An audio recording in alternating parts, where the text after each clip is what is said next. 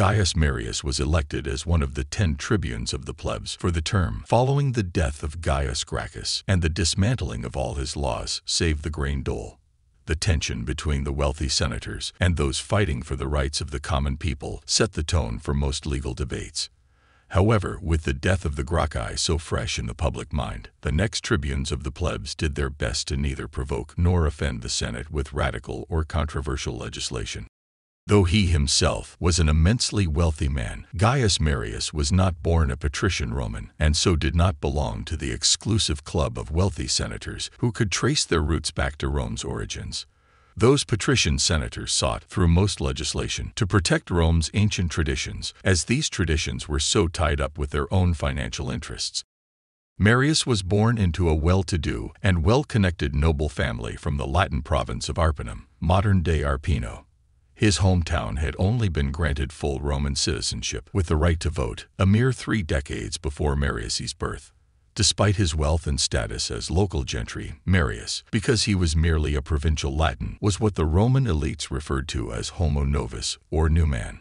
The term new man was used in the same derogatory way that old families with generational wealth used the term new money to describe those who had accidentally tripped upon their fortunes. Unfortunately, his title of new man would keep Marius on the outside of Rome's political elite for most of his early career. The political ladder of Roman government, known as the cursus honorum, course of honor, or race of offices, was weighted in favor of already distinguished families. This meant that new men like Marius had a distinct disadvantage when running for public office against candidates whose famously named fathers and grandfathers had already paved the way. Every step up the cursus honorum for Gaius Marius was hard fought. He did not win every election for which he stood, and even when he did win, it was often by the skin of his teeth. Even his year as tribune of the plebs saw him elected to the tenth and final seat of that office.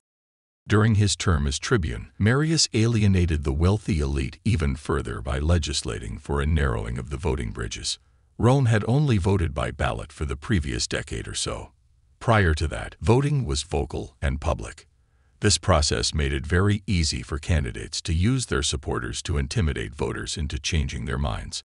Ballot voting, however, did not prove to be exempt from intimidation either, as the supporters of major candidates filled the bridges leading to the ballot boxes. There, they would snatch ballots from the voters' hands, inspect them, and then threaten them into changing their votes. Though this legislation was by no means controversial, Marius's narrowing of the bridges to eliminate room for crowds to gather won him the initial support of the Roman people, a scenario which always raised eyebrows from those within the Senate just waiting to accuse another populist of attempting to crown himself king of Rome. The following year, Marius barely squeaked in as praetor and was assigned the province of Hispania Ulterior to govern following his term. Praetor was the last step up the cursus honorum before consul, and consul was the goal of every senator with both the financial resources and the political curriculum vitae necessary to campaign for the office. Consul was the most sought-after post because to be consul of Rome was to be Rome's commander-in-chief. The consul was a king, a president, and even a prime minister, all rolled into one office. He sat unquestioningly atop Rome's hierarchy, and even after his term ended, controlled the Senate along with the other ex-consuls, whose debates were heard ahead of the rest of the Senates. The consul directed a number of areas of governance. First was his legislative agenda. Since consular elections were held a full six months in advance of the legislative session, the consular candidate ran on promises to his constituents which he needed to keep if elected. The consul had the authority to both convene the Senate and to set its agenda.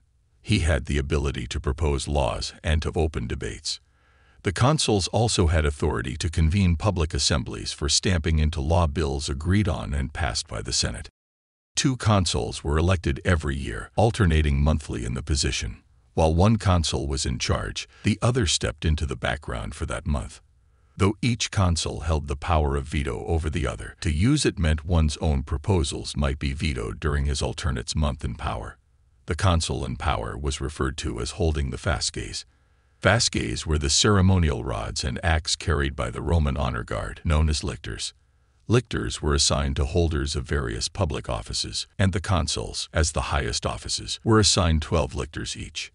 This was second only to the office of dictator, with 24 assigned lictors. The consuls oversaw the elections of everything from low-level commissioners to next year's consuls. If there were protests, bribery, intimidation, or even political deal-making, these things did not escape their notice. This gave each consul a considerable advantage in ensuring his own supporters were elected the following year. Many private arrangements were made in which a consul promised to put his weight behind a candidate for next year in exchange for said candidate's vote on his current legislative platform.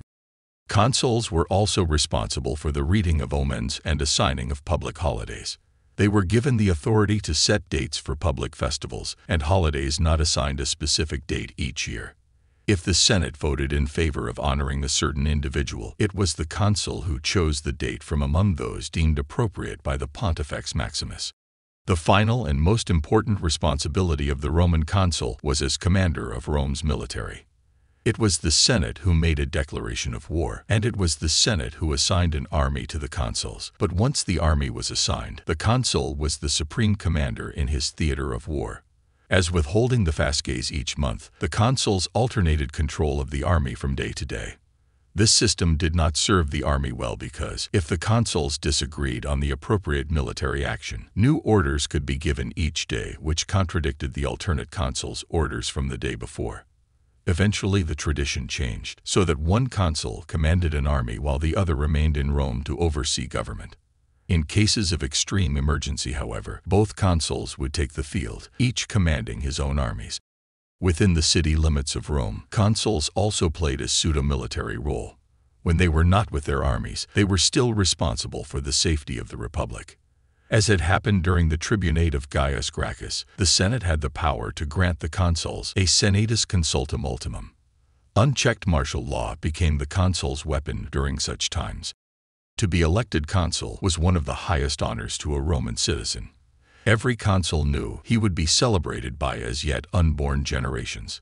Even one's birthday was referenced by the consuls rather than the day, month, and year.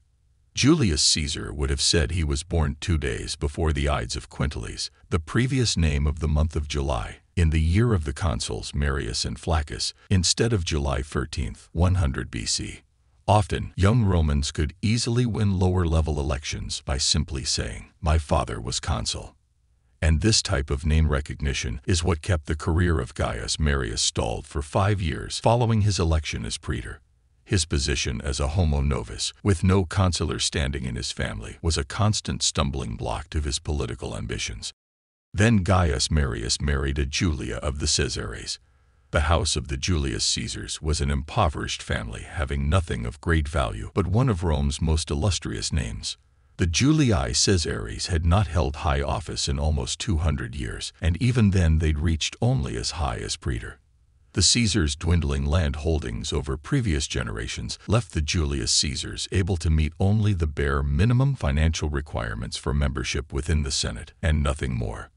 The consulship was out of the question for a family with limited funds and two sons to install in the Senate. For Gaius Marius, marriage into such an illustrious patrician house, though no longer wealthy, added magnificent luster to his own name sufficient to launch him into the upper stratosphere of Rome's elite.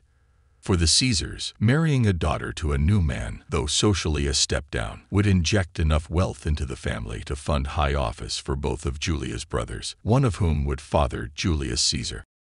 Because of his marriage to Julia, as well as other circumstances, Marius did manage to finally get himself elected consul. As consul, Marius immediately employed a current tribune of the plebs by the name of Titus Manlius Mancinus. Mancinus's job was to bypass the Senate and use the plebeian assembly to strip a patrician general named Quintus Metellus of his command against Numidius King Jugurtha. Jugurtha had led a revolt against Rome, which Metellus had fought for over two years. The plebeian assembly stripped Metellus of his command and reassigned it to Gaius Marius. Outraged by this legislative sleight of hand, Metellus left the province of Numidia as commanded, but refused to leave his army for Marius to use. This forced Gaius Marius into conscripting a new army for his campaign. Once again, using Mancinus, Marius bypassed the Senate and presented the plebeian assembly with legislation that would remove all property qualifications necessary for military enlistment. In this way, Marius could avail himself of Rome's sixth class, known as the head count because, owning nothing, they were merely heads the state was now responsible to feed according to Gaius Gracchus's grain dole. These laws infuriated the Senate who debated the precedent of using men who would fight not for the fatherland, but for gold and profit.